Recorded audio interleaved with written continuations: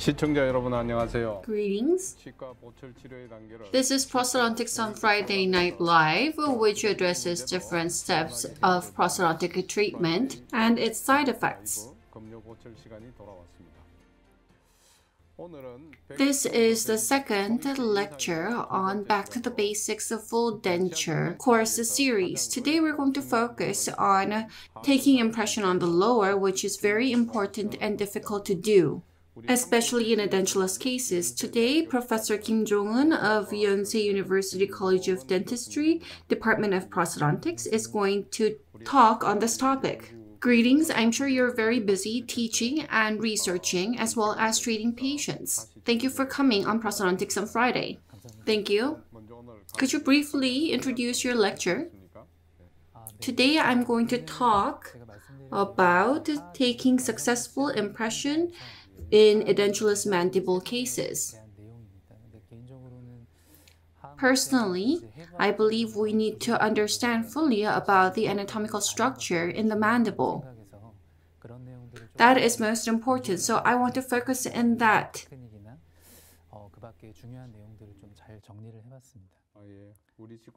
I've also highlighted some key points. This is something that a lot of dentists find very important. Listening to you makes me look forward to your lecture even more. Those of you watching from dental site, you can participate real time via the chat, leave your questions, your questions can be answered real time and you may be able to try your luck at winning coffee coupons. Those of you who leave questions that are chosen as best questions will be given dental set from Vusen and Music Tiger. Leave your questions and win these amazing prizes. I look forward to your keen interest and participation, and let us begin today's Prosthodontics on Friday lecture.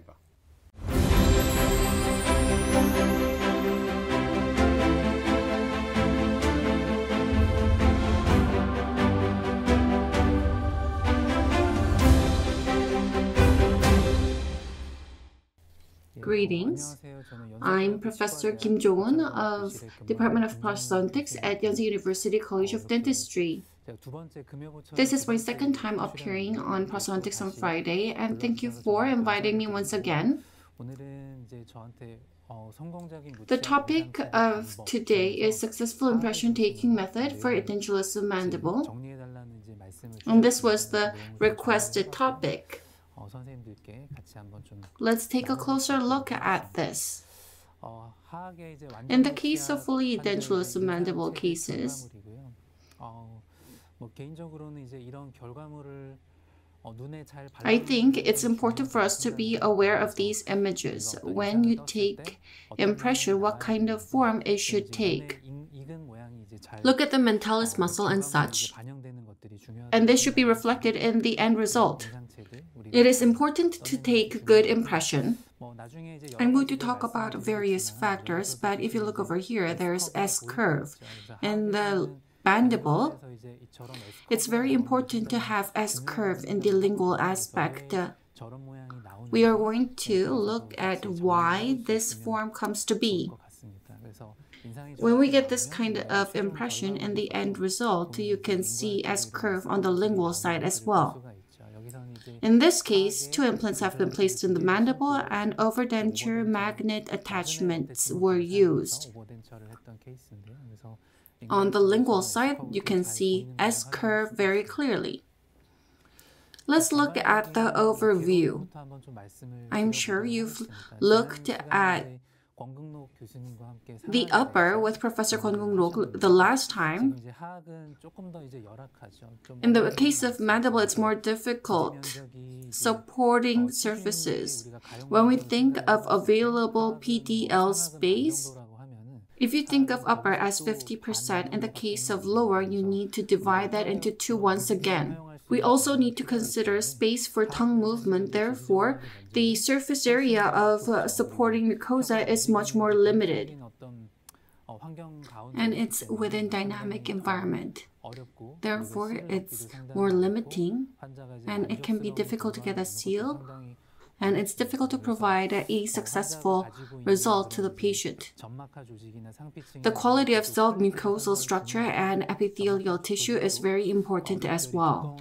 The submucosal tissue needs to be appropriately thick and it needs to be bound strong with the bone under. Compared with the upper, there's more resorption in the lower. Even if we get successful end result, the ridge continues to get resorbed. We need to do continuous checkup, do relining so that the patient can use it nicely.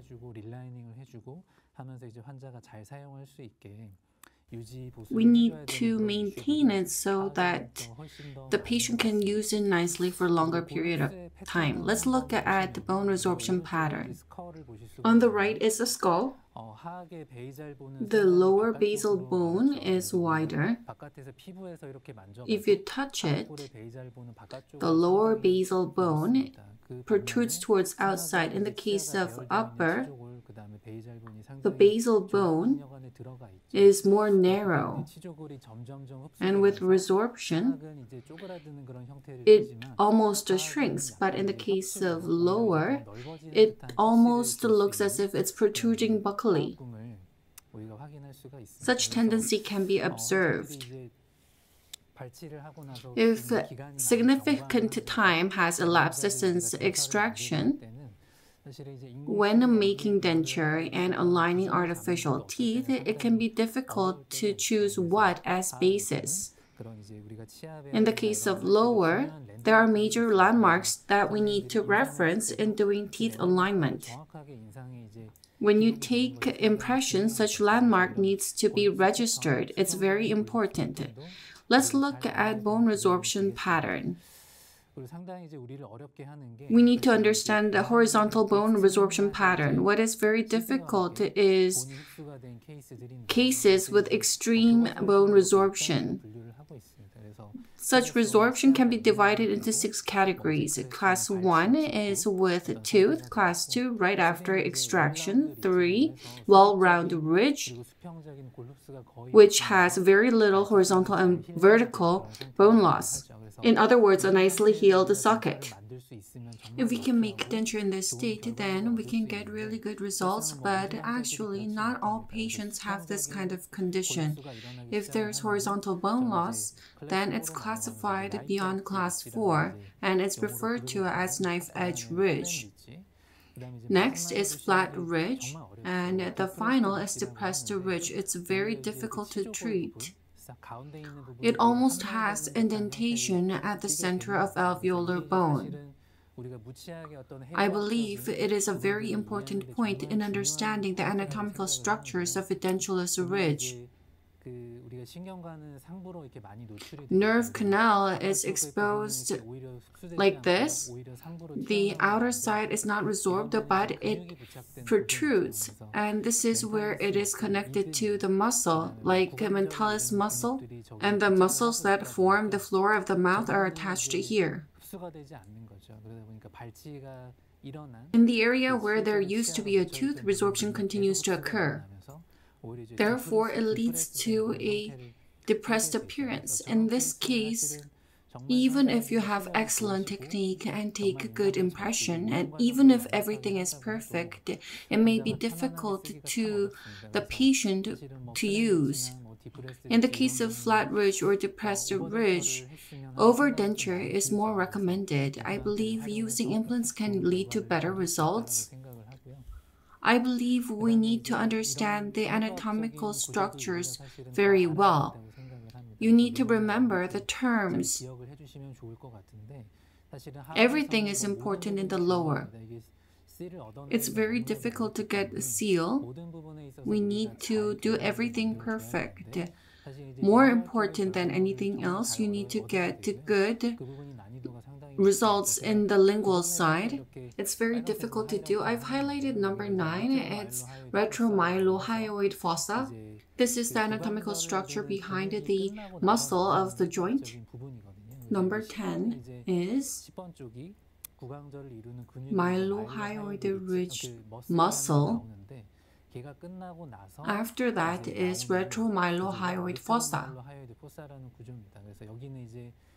there's slight undercut that we can utilize. I'm going to uh, explain about it later. In treating the mandible, it is very important to understand the physiology and movement of mylohyoid muscle. I've talked about S curve earlier.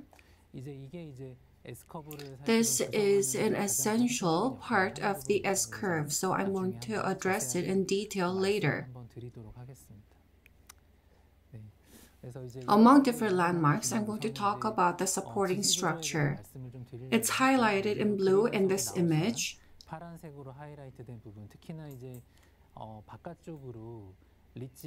The buccal part is referred to as the buccal shelf. If there's occlusal force from full denture, this can withstand the vertical occlusal force and it is classified as primary stress-bearing area. In the case of residual alveolar bone, it is secondary stress-bearing area. We need to get information about the buccal shelf well when we do impression taking. The behind area is retromolar pad. It's a very important landmark in doing teeth alignment. And it is also an important supporting structure. As mentioned earlier in the case of mandible, there's a lot of cancellous bone. As I've shown you earlier, compared with the upper, there's four times more ridge resorption. It occurs very quickly. This is a tissue that can change anytime at all times. Residual alveolar bone cannot be classified as primary stress-bearing area. Buccal shelf is primary stress-bearing area. Let's look at the border. Behind the buccal frenum, it is positioned here. It is positioned before retromolar pad. This is a buccal shelf, and up to the external oblique ridge is the border. When the patient uses denture and does mastication, this part provides vertical support to withstand occlusion. Therefore, its primary stress-bearing area, you need to apply more pressure in that area when taking impression if you apply more stress as you take impression, then you can get a good result. I'm going to talk about this in more detail when I talk about making tray. Another important point is that this is an area where a lot of change does not occur. The buccinator muscle the lower part of buccinator muscle is attached to buccal shelf. So because uh, there's attachment with a muscle, then bone resorption does not occur significantly and it has quite the thick submucosa. Therefore, it can withstand stress very well. Even if the muscle contracts, it does not hold significance. This is a muscle that does not contract in a way where the denture is dislodged. It does not lift the denture. It does not get in the way, even if the muscle is pressed upon. There's no problem. I believe we need to get as much data on the buccal shelf when we take impression. That is very important. This is something that I've mentioned earlier. This is a quite an extensive area and it can withstand the vertical occlusal force and it has cushion effect because it is attached to the lower part of buccinator muscle and it does not lift the denture. Another important anatomical structure is mylohyoid ridge. When you touch it, it feels kind of pointy. It is towards the inner side of the tongue. This is a mylohyoid muscle, which forms the floor of the mouth, and it is attached to mylohyoid ridge, and it is related to anatomical structures that form the joint. Towards the anterior side, it becomes closer to inferior border, and towards the posterior, it becomes closer to residual ridge height. It is attached towards the tongue. When there is teeth, it is positioned quite low, but if there is significant alveolar bone loss, then the bony prominence really becomes noticeable. At times, relief may be necessary. If you look at this image, it is in the middle. This is mylohyoid ridge and there's muscle attached to it. This muscle is below the tongue and forms the floor of the mouth. It is very important in fabricating denture. The ridge and muscle needs to be understood. Take note of how the ridge runs once again. So please take note of it once again. It's like this. When we look at the mandible from behind, it comes up in the posterior area and it goes down towards the anterior area. This is the anatomical structure. The floor of the mouth follows this. When we think about it, if the floor of the mouth goes down like this, you may wonder whether the denture needs to be shorter towards the back. I'm going to address it later. In the anterior region, it can be reflecting of the floor of the mouth, but in the posterior area, it comes up. So it needs to be slightly lower than that. So the denture length needs to be lengthened towards the lingual side as we go towards the posterior. There's mental foramen. I've talked about depressed ridge. If there is a significant alveolar bone loss, the nerve can come up top. As a result, some patients complain of a pain in their lips as they use denture. If the patient has excessive alveolar bone loss, then the nerve can come up towards the alveolar crest. Hence, a bit of relief may be required. As shown, in the ridge with teeth, the mental foramen is positioned quite low. However, if there is significant alveolar bone loss, it looks as if it's coming towards the side, but in the end, it almost comes up to the top of alveolar bone. When we make denture and when the patient uses it, this area can be pressed. This can lead to patient complaints. There's also genial tubercles. This will be addressed later. Among the muscles that surround the tongue, there is genioglossus muscle. If there is not significant ridge resorption, these are not an issue. However, if there is a significant mandibular resorption, like class 5 or class 6, then this can come up up to ridge crest. It becomes more prominent. It's almost connected to the lingual foramen. As we look at the image, I'll address it once again. This is where B is. When there's teeth, it is positioned quite low. However, in the case of excessive alveolar bone loss, it comes up to the top of the ridge. Patients can feel pain when this area is pressed continuously. At times, patients suffer a lot. You should remember this structure as well. Another structure that we need to consider is torus. If the torus does not interfere with denture fabrication, it is not removed. However, as shown here, if it is quite prominent and big in size, then it will become difficult to get seal on the lingual side. If the size is huge as shown, this may need to be removed. If the size is small, relief in the denture may be sufficient. We need to be aware of this point. Finally, it's the border. I'm going to talk about this. In order to fabricate good denture, limiting structure needs to be considered. I would like to provide a little explanation on this.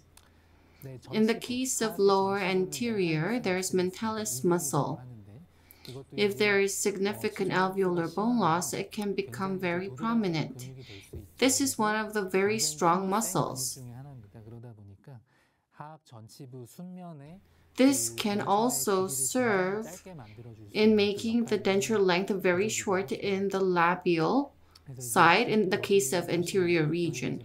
Here's mentalis muscle. When we take impression, if this area is activated too much, the chin shape becomes like this, especially when the patient has been edentulous for a long period of time in order to close his or her mouth. The patient really uses this muscle. When we take impression, when you put in the tray, the tray is pushed forward. You can frequently see highly activated mentalis muscle. And this Making sure that this is not too activated when impression is taken is very important. This is lower anterior. This is external oblique ridge. It's related to buccal shelf. I've talked about buccinator muscle. It is attached to that muscle. It is not a muscle that interferes with denture. Even if you make the denture one or two millimeters longer than oblique ridge, it does not interfere with the denture. Buccal shelf, we can see it visually and you can see the border. And in this case, it's okay if it becomes extended a bit. It does not interfere or dislodge the denture. You need to check the buccal shelf and extend it as much as possible. It's over here. Here's buccinator muscle and the muscle is slightly concave. It is okay if it becomes extended. As the patient uses denture, if there is issue, it can be shortened. This is an area where we can get the primary stability. Therefore, you need to extend this area as much as possible in the buccal shelf area. In the case of masseter notch, there is a external oblique ridge and this is retromolar pad and the masseter notch passes diagonally between the two. Buccinator muscle covers it.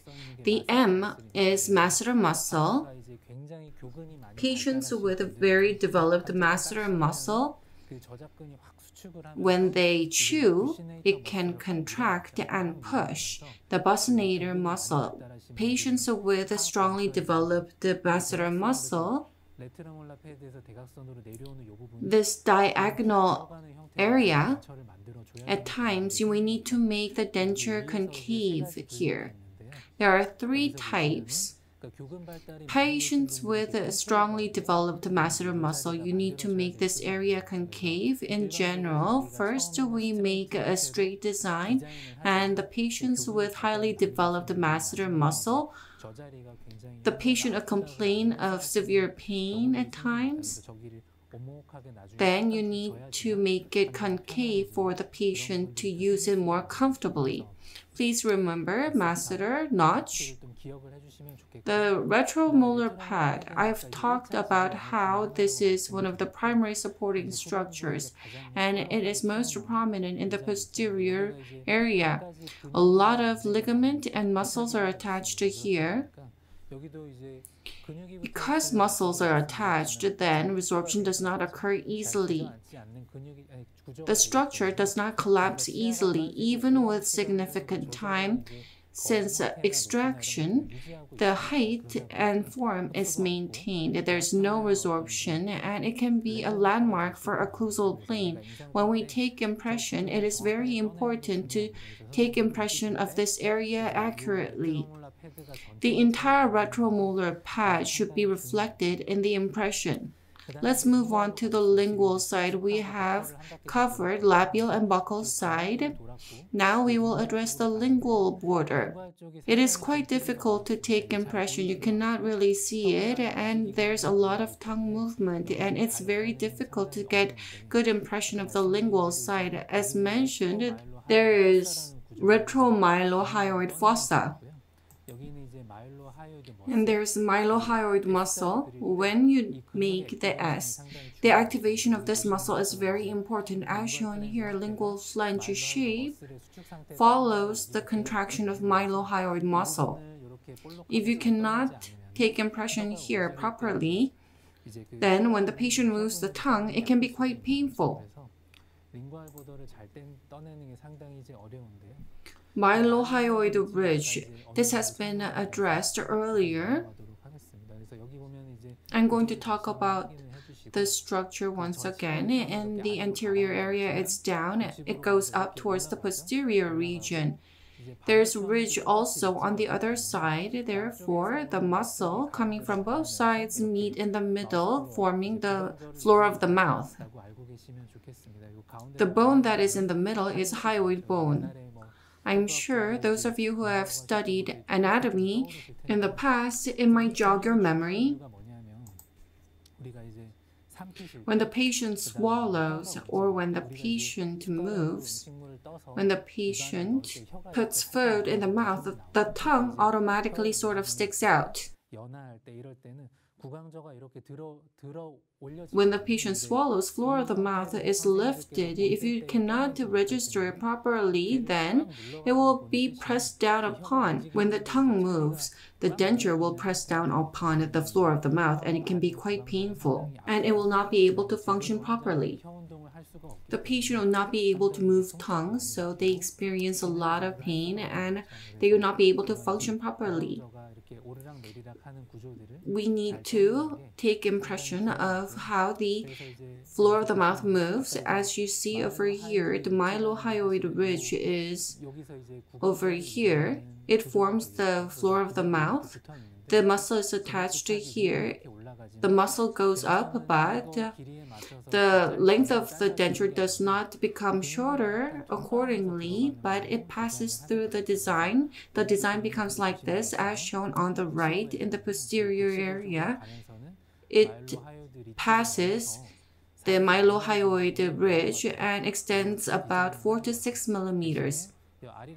R is at rest when the tongue is not moving and is at rest. The floor goes down.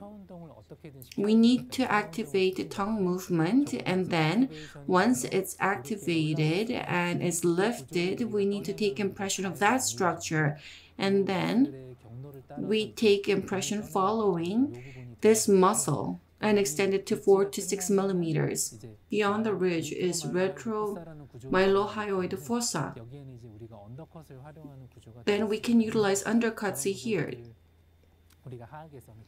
We need to take note of these structures, especially in the lingual region. Let me ask you a question. Yes, please.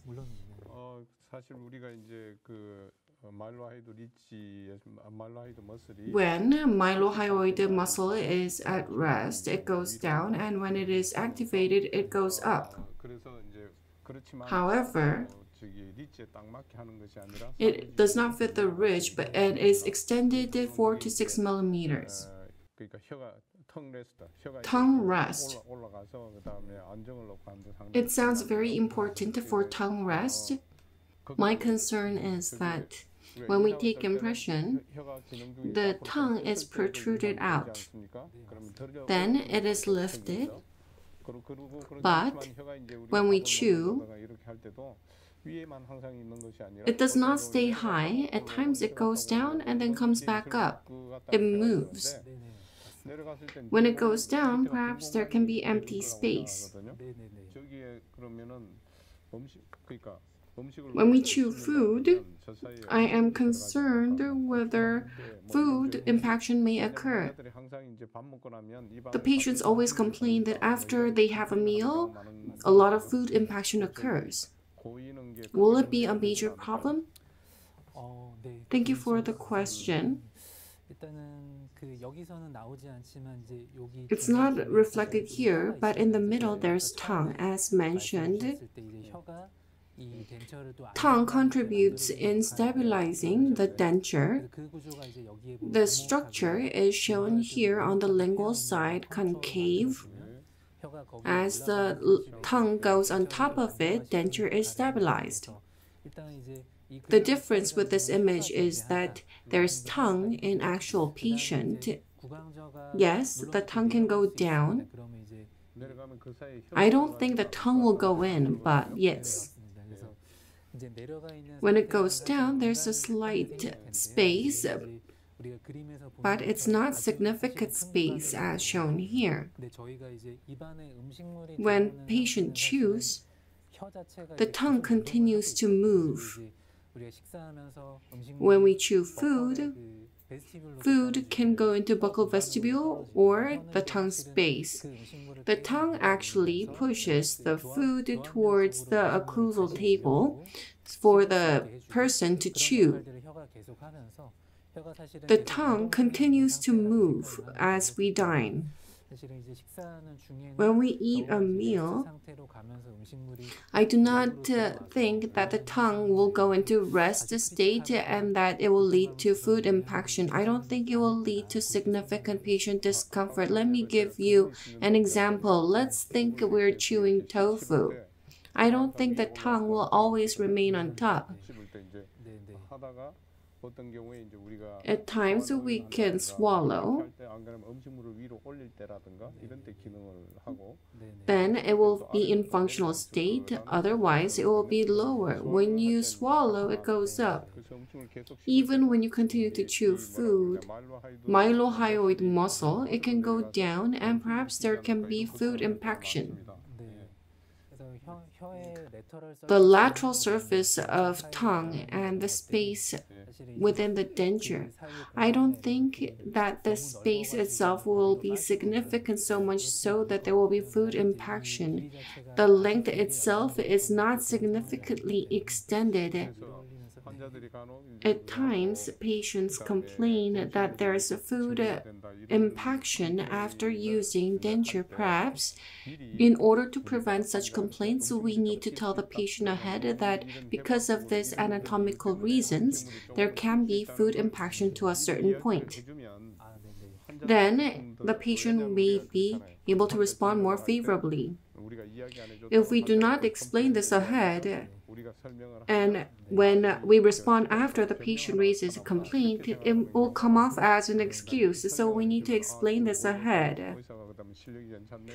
It may build upon our credibility. If you're concerned about food impaction, we need to tell the patient ahead. Yes, I agree. I entirely agree.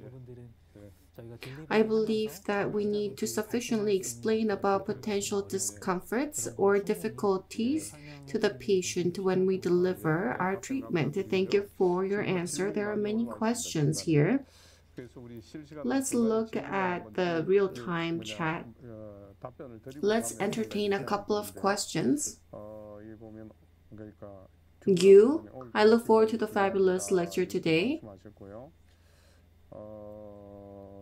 Let me go down. Daisy, Professor Kim Jo, nice to meet you. I look forward to your lecture. Thank you for the good lecture. It Says, when there's resorbed alveolar bone, the patient sometimes complain of pain and mental foramen due to the lower denture. I've experienced such cases as well. We need to provide relief. And this is something that can be checked as the patient uses it. If the patient complains of discomfort, we need to provide relief. If alveolar bone resorption is so severe, in such a case, a full denture may be okay, but we can also recommend implant supported over denture. I think it'll be better if we can get the support and retention coming from the implants. For edentulous patients, are two implants allowed for edentulous patients? Not yet. I think this should be passed very quickly. For patients, we need to make sure that the two implants can be insured and we can add attachments like magnet. Rather than making survey the crown, using attachments are not insured as of yet. To provide a direct answer, we need to specify where it hurts by using tools and mark it using indelible pencil and provide relief. This may be a temporary relief. In order to address it fundamentally, we need to provide implant treatment.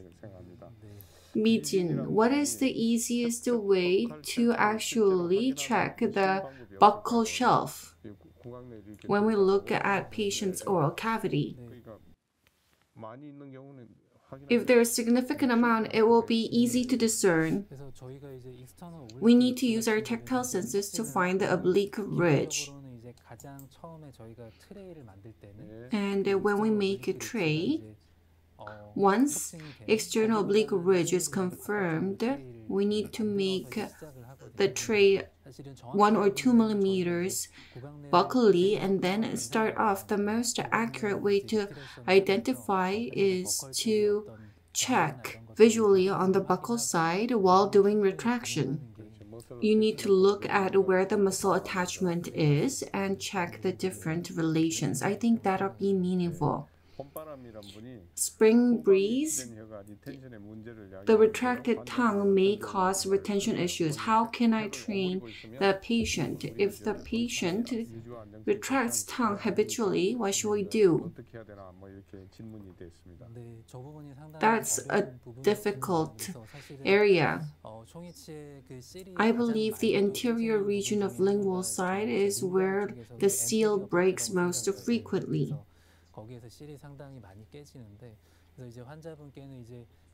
We need to train the patient to protrude the tongue. It's very important at rest, not just for the patients, but patients with teeth.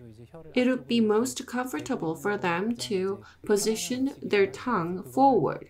We need to train the patients of that. We need to train the patients we tell the patients to put the tongue towards the tooth. It's reflected in the textbooks, but if the training is difficult, we can make a training groove intentionally so the patient can touch that. You can make artificial structure. When we deliver our prosthesis, we need to tell the patient to stick the tongue towards the incisal edge of the lower, it's not easy for the patient. We need to make a groove or a shelf in the midline area to make the patient protrude tongue more easily.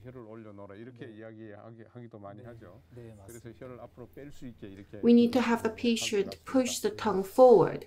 Wonderful. if there's torus in the lower and if there's no undercut in torus and if it has appropriate height, will it be of help in maintaining the torus while fabricating the denture in terms of retention and maintenance? I don't think it will be of help. I think we can provide denture as is. As you have mentioned, it's not going to be of help, but at times it will be difficult to do surgical approach. Therefore, you can just provide relief. If possible, I personally think that removing it is better. In the torus area, the mucosa is very thin, so patients respond very sensitively. Therefore, providing good relief is important. Yes, the mucosa thickness is very thin. Mijin, I always participate, but it's so difficult to get the coffee coupon. I think the staff needs to take note of this person.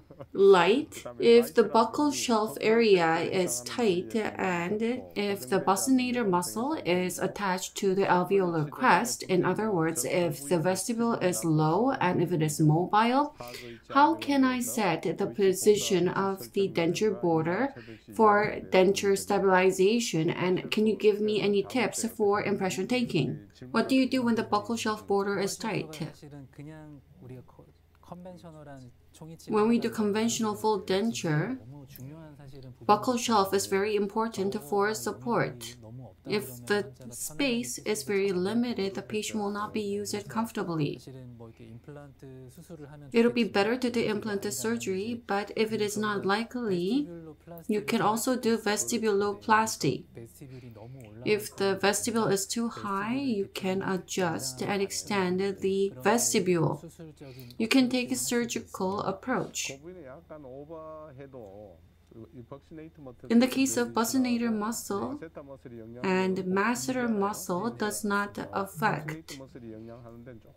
Therefore, in the area, you can extend over the buccinator muscle. On the buccal side, you need to extend as much as possible. And then, if there is sore spot or if there are any discomforts, so we need to adjust it, but we need to attempt the extension.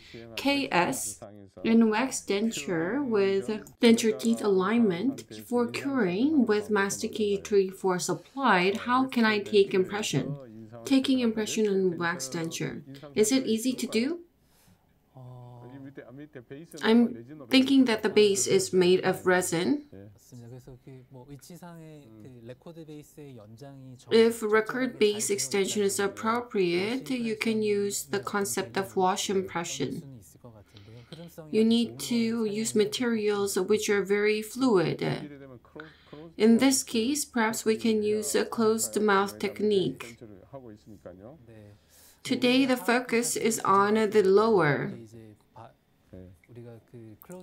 If you do closed mouth technique, in the case of lower, tongue movement is very important, therefore considerations need to be made. The sun. Are there any minor surgeries we can do to prevent the pressure on inferior alveolar nerve?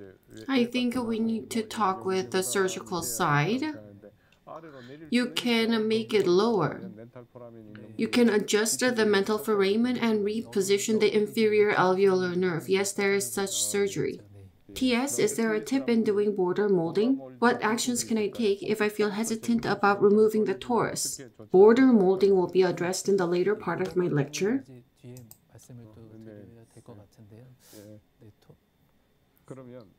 Okay, so professor, because there are more contents in your lecture to be addressed, we will end the interim question and answer session and entertain rest of the questions at the end of your lecture.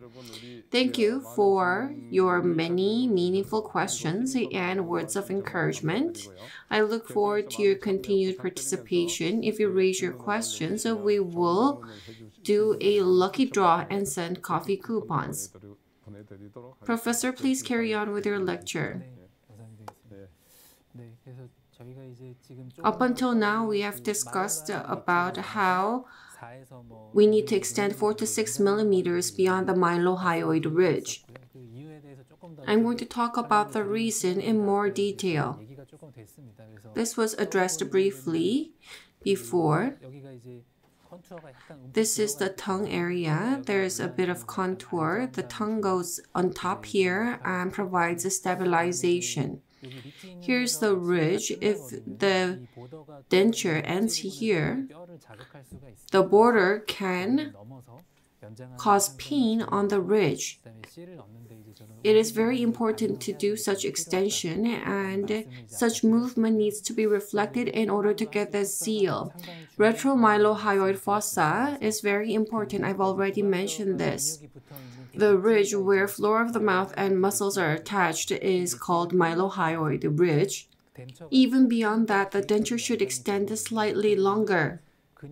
This is an area where it is not affected by the muscle, so we can extend it longer. There is undercut in the mandible. This is an area where we can utilize and it can contribute to stabilizing the position of the lower. Posterior margin, this is beyond the denture. It's the same with getting the lingual border. We have the patient stick the tongue out and get the movement of the muscle. We call the various muscle layers retromylohyoid curtain. When the patient sticks the tongue out, the front part of the curtain gets closed.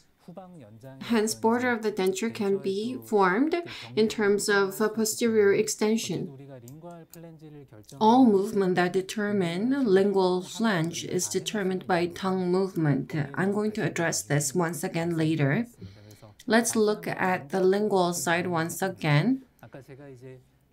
I've talked about how seal gets broken at the frontal part in the lingual side.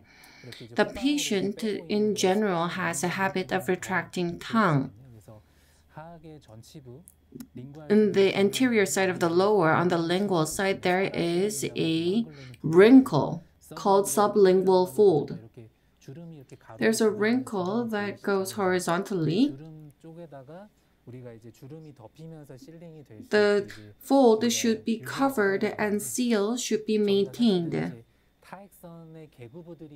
This is where salivary glands are.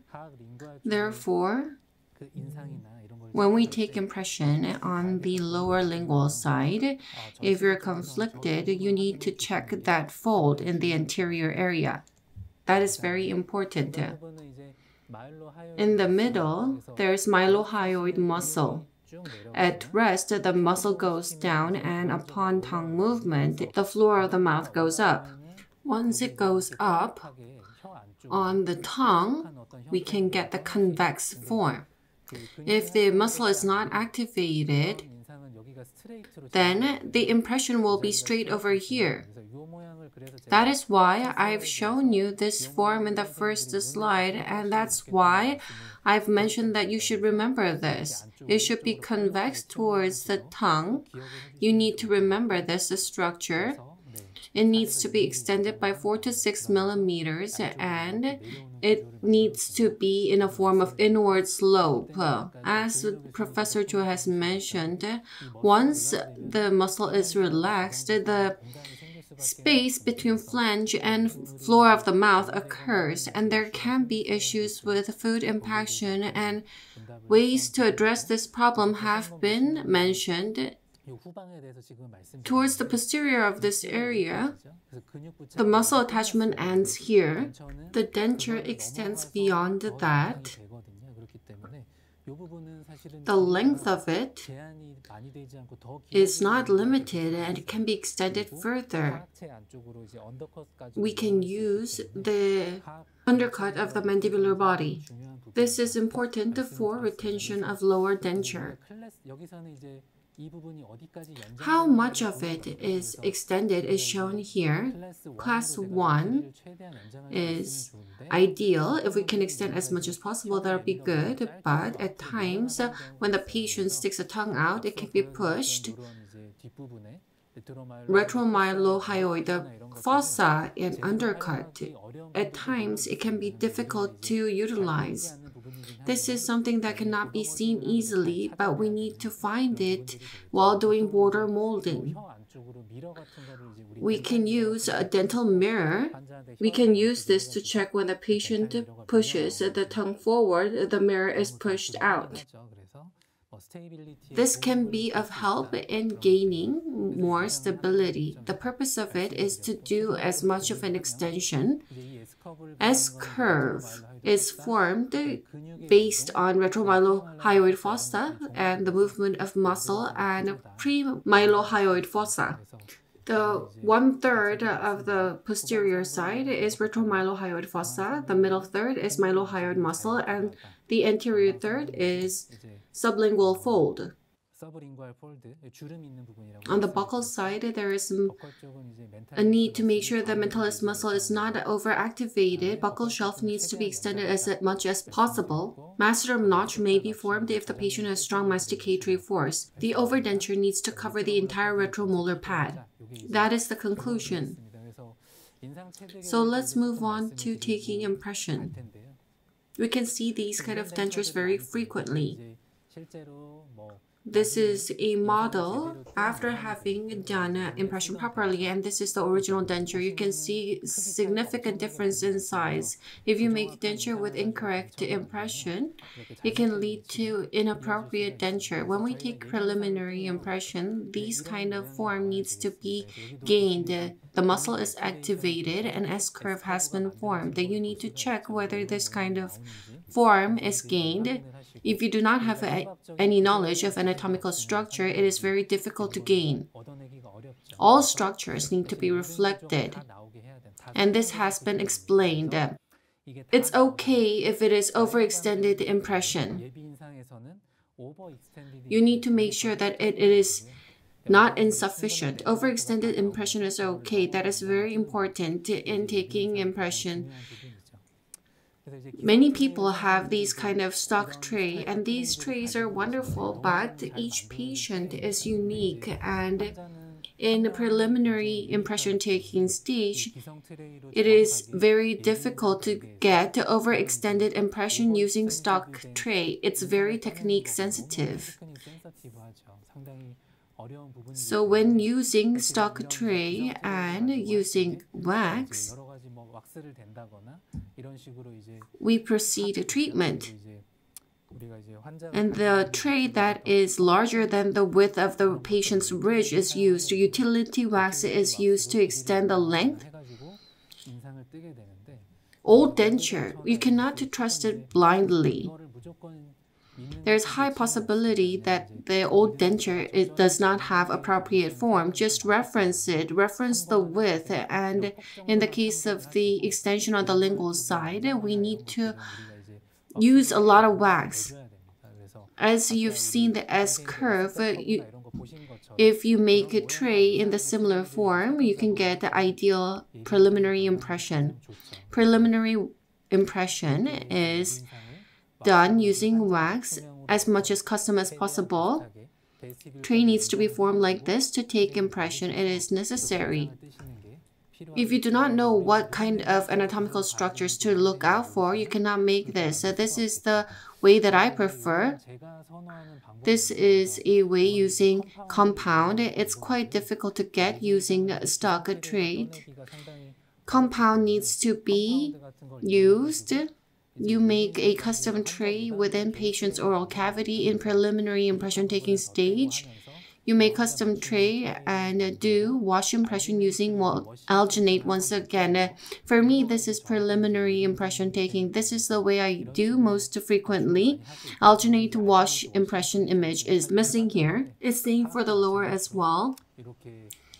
The technique using compound is very good. One of the disadvantages is that as shown here, the S-curve is not really clear. The compound is a very strong material. However, the mylohyoid muscle is not as strong, so it does not push the compound sufficiently. After you use compound once, you need to grind off the area where the mylohyoid muscle is to give space for the muscle. As mentioned, if you use compound, you can easily take overextended impression.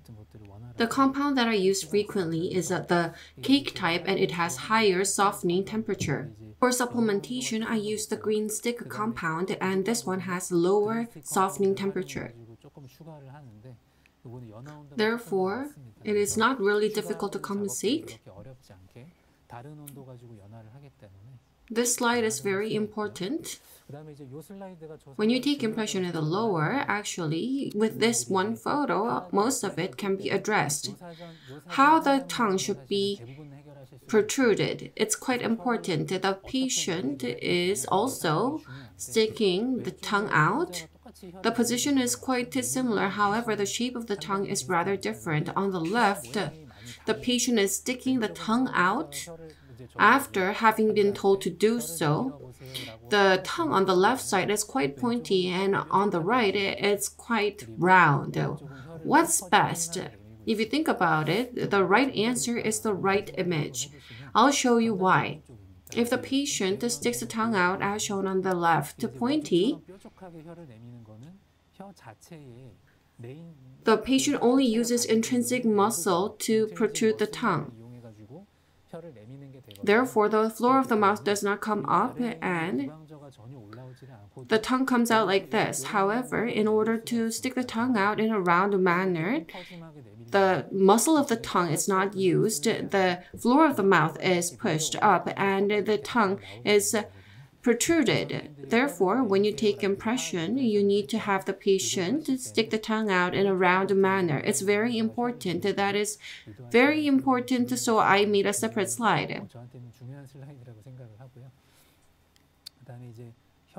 If the tongue is towards uh, the ceiling of the mouth, the floor of the mouth comes up this is at rest. This is when the patient is protruding tongue or is sticking the tongue out in a round manner. The level of the floor of the mouth is different. It changes. You need to have the patient move the tongue in different ways to take impression. We use custom tray. Spaced tray is used, wax is used with it you accentuate where pressure is applied. I want to talk about the contour of the lower tray. It is made one or two millimeters shorter than the anticipated denture base, so you take overextended impression and determine the border. It is made slightly shorter than that and space is secured for border molding. The lower posterior border is set so that it is in line with the retromolar pad. As for external oblique ridge, there was a question about that. This is the buccal shelf area. You can extend 1 millimeter more exterior to the external oblique ridge. Line is formed. This is a 45 degree straight line. If the patient has strong masticatory force, a notch can be provided. In this way, tray is formed. This is mylohyoid muscle. You can provide space intentionally. Relief is provided intentionally here. The muscle can go up more in preliminary impression taking. If you feel like you haven't provided sufficient space for the muscle, intentionally you can give more space to make the custom tray. A tray should reflect the S curve. If you make a tray with a straight line in the end result, it is difficult to make a S curve. In the area where there is a buccal shelf, you need to leave it empty and wax is applied and tray is formed. The wax spacer is provided here. In the buccal shelf area, you need to Make a tray without wax spacer so that the tray can be in contact. This form is what I prefer. The handle can be formed like this.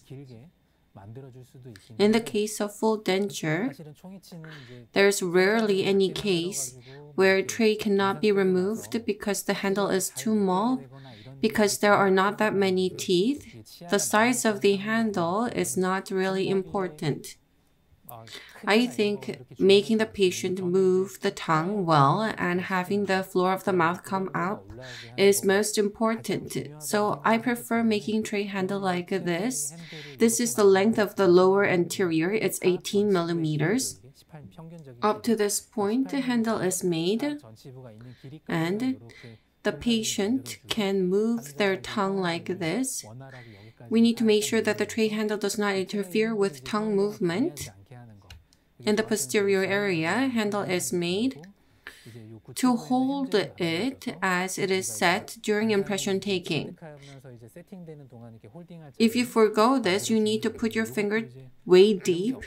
Therefore, it can interfere with taking accurate impression. A tray is made and adjusted. One thing I want to point out is that if you make a tray using retromylohyoid fossa, this is undercut if you try to put it in, it does not go in well. You need to put the tray back and then move it slightly forwards.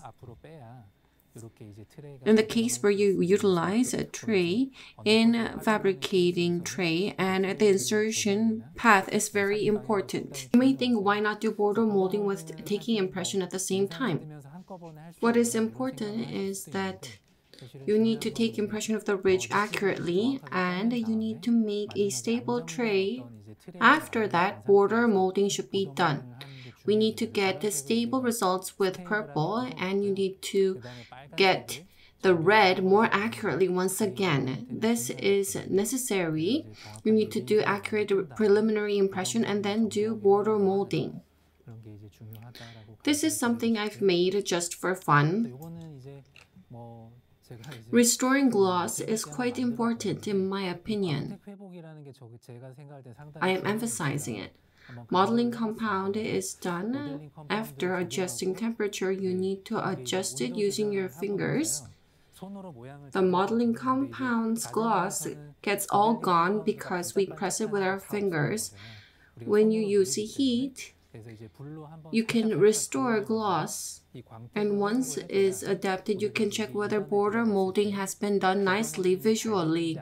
In the area where border molding is done nicely, the gloss disappears once set in oral cavity.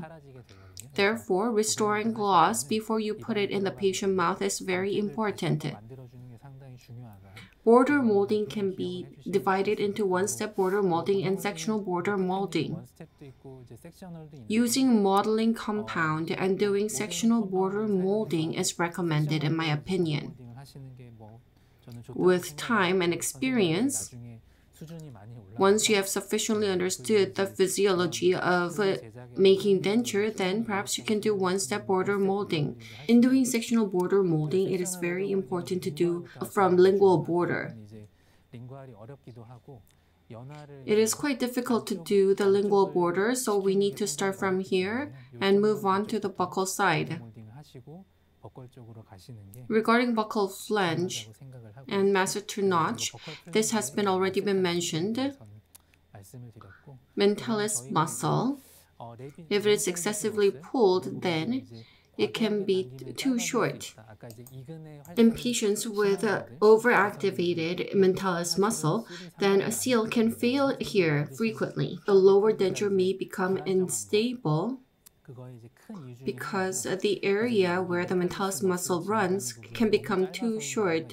You need to make sure that the mentalis muscle is not too much activated and do border molding. So I've included this in the slide. If you have done a perfect job up to border molding, Taking final impression is not too difficult. You have the patient to stick the tongue out and then do final impression and if S curve is reflected nicely, you do boxing. After taking impression, the border form should be gained nicely. This is a part of the lab process. When you send it to the lab, you need to make sure that border form needs to be maintained. Model is finished.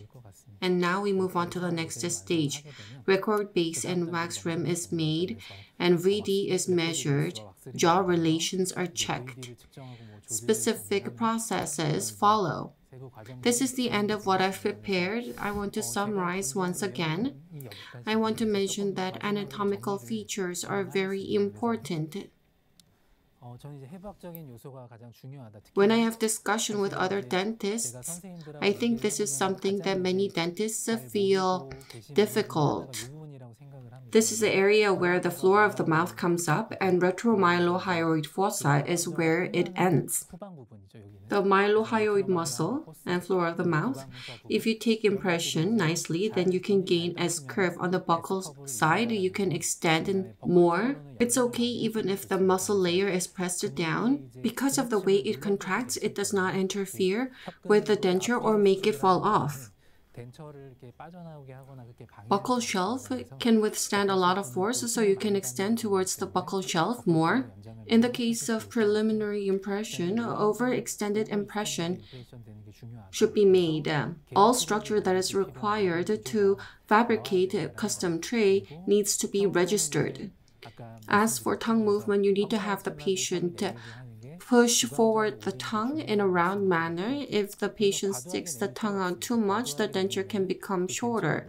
It should be within the physiologic scope, up to the point where the lower anterior teeth are. That's how much the patient should stick the tongue out. I want to end off my lecture by showing you this slide again. Posterior third is retromylohyoid fossa. You need to utilize undercut and the middle third.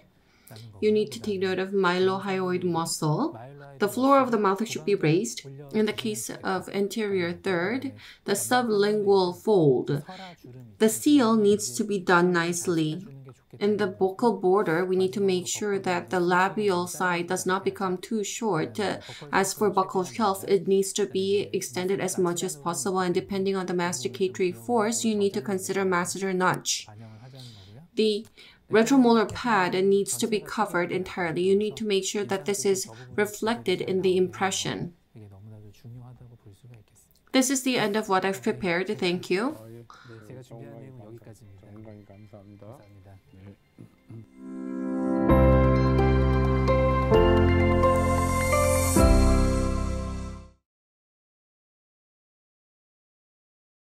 Let's look at the real-time chat on Denall's site.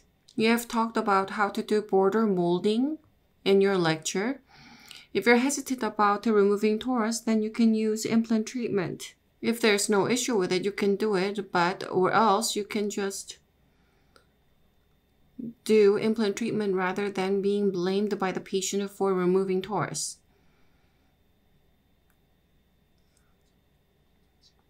I was caught off guard because I was looking at the questions, so can you repeat your question once again? The first question about removing torus. Is the patient hesitant about it or is the surgeon hesitant about it? I think it's the surgeon. I think it's connected to the question below. Meeting. No matter how well you make a lower denture, even if professor makes it, people throw it away. Shouldn't we just prohibit it?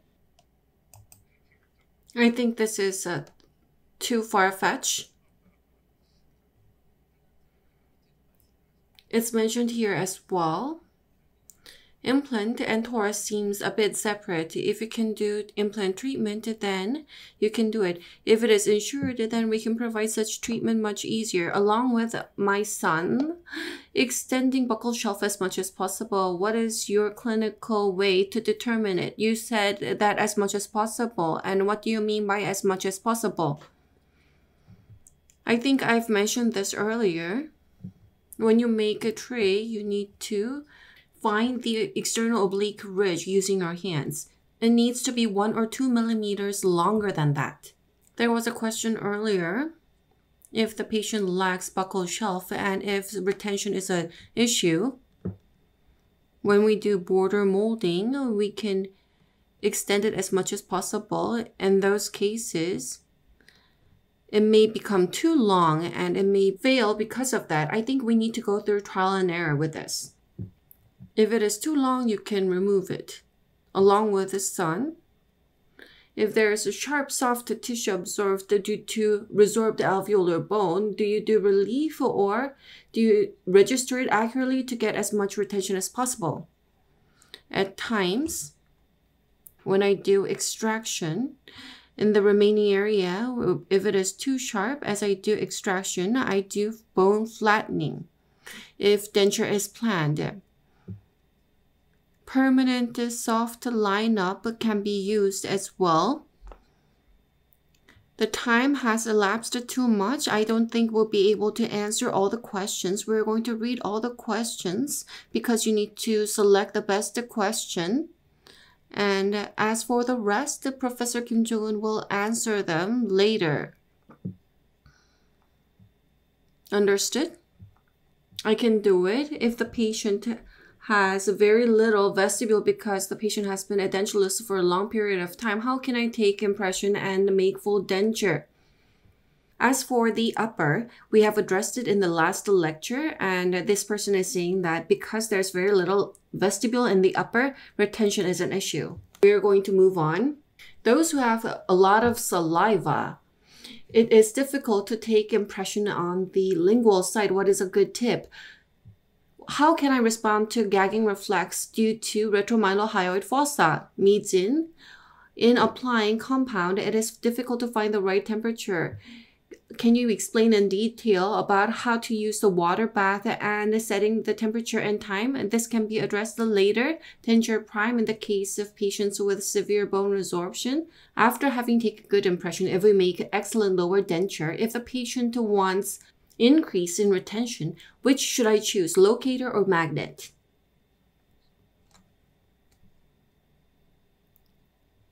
This will be addressed later.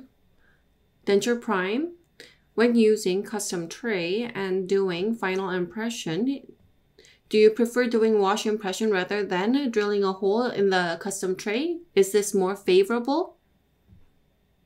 TS, what about using polyether rather than compound? I cannot use alcohol lamp. Rose, thank you for the wonderful lecture. It was a good reminder When taking impression in the lower, is there a way to make sure that the patient moves the tongue well upon impression? Professor Kim Jong-eun, can you select the best question? Who do you think is the winner today? I would like to express my deepest gratitude to all of you who have left the questions in today's lecture. Professor Kim Jong-eun, can you pick the best question? The person who raised the best question is shown in the middle, Mi-jin. This person has raised multiple questions and asked the questions so that were clinically meaningful. I would like to select Mi-jin. I think this is the person who has said that he or she never won. Understood? Can you answer the question? Answering the best question. Shall we choose the question in the middle? Yes. It's difficult to find the right temperature in using compound. Is there a way to get the right temperature and time while using water bath? So I've talked about the softening temperature of compound. Water bath I don't use it with just hot water. You need to use a special water bath where you can set the temperature. You can set exact the temperature with a water bath. These days, digital technology has been adapted here. So you can actually see the figures. You need to use the water bath where you can adjust the temperature. You need to set it so that it fits the softening temperature. After you do it, you can put your finger in it to see how warm it is. That's right. Yes, you can get burns, so you need to be careful. Mijin, congratulations once again for being selected as the best question. To Mijin, separate contact will be made, and those of you who have won the coffee coupon event, Text will be sent on Monday. Don't feel too let down because you weren't chosen this time around. The event continues on in Prosthodontics on Friday. I look forward to your keen interest. Professor, would you give a word of advice to your fellow dentists who have been studying hard about full denture up until late? I think you're all doing wonderful work. I would like to express my gratitude for listening my lecture. I am continuing to provide lectures on full denture at school and uh, I still have a lot to think about in treating different patients. Don't think of it as too difficult try and treat the patients with trial and error. We'll be able to hone our technique. Start off with impression taking stage. With practice you, and by accumulating clinical experience, you'll be able to overcome such challenges. Thank you for coming despite your busy schedule. I look forward to your lecture next time around. Thank you. Dear viewers of Prosthodontics on Friday, did you enjoy the lecture with Professor Kim Jong-eun? We were able to get meaningful tips on getting the right impression in the lower, which is always difficult for many of us. Answers that were unanswered today will be addressed via reply by Professor Kim Jong-eun. Thank you.